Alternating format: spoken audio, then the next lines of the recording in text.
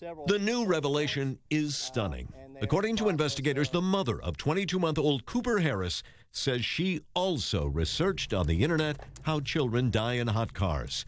It follows a similar jaw dropping admission by the boy's father. Both stories summarized in police search warrants released over the weekend. He stated he recently researched through the internet child deaths inside vehicles and what temperature it needs to be for that to occur. Justin stated he was fearful this could happen.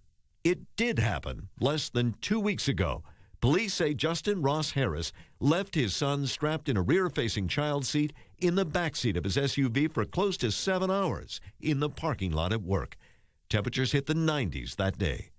The father says he forgot to take the boy to daycare. Police say Harris was seen at lunchtime returning to the vehicle and placing an item in the front seat before going back to his office.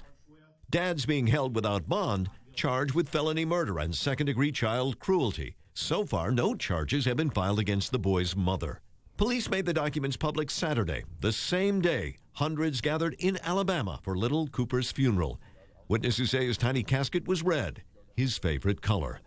No cameras were allowed, but reporters could attend. The emotional service included the family's first public statements. Leanna Harris defended her husband during her child's eulogy, saying, Am I angry with Ross? Absolutely not. It has never crossed my mind. CNN's Nick Valencia was in the church. What got the reaction was um, when she said, Ross Harris is a wonderful father. And everybody stood up and started clapping. It was an unprovoked moment. Then Cooper's father spoke via phone from his jail cell. You could hear him sobbing over the phone trying to catch his breath. That got very emotional for people in the crowd. Do you remember some of what he said? He said thank you.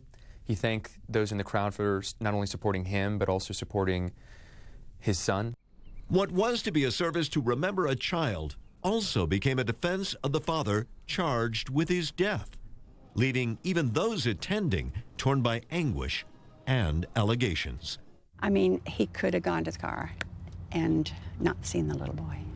If the boy was sleeping, or, you know, it could have. I mean, he could have been distracted. So, but I do have questions about it.